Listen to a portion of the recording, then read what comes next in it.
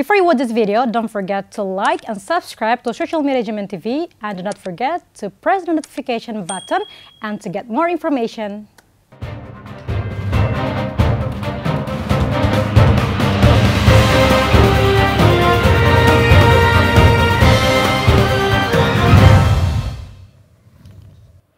Chefe Estado-Maior-General FFDTL, Tenente-General Leranan Timor, apresenta condição infraestrutura Força Armada Niang para Presidente da República Francisco Guterres Luolo.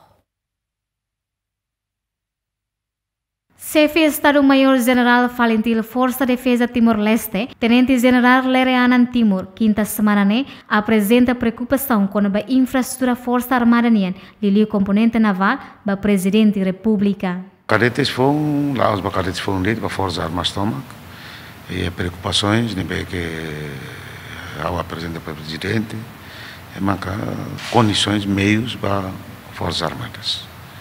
O transporte, infraestruturas, é, para componente naval precisa RO, ato cumprir que missão, segurança fronteira marítima minha e infraestrutura para componente naval, ali o cais, porque 2023, junho, a nesse ano, a Austrália.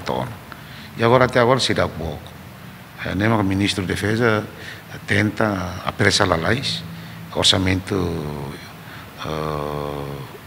e a para Porto Era. Então, nesse ano, bele, simo, ro, rua, Austrália, nem que todo dia 20, ou 2023, junho ou julho.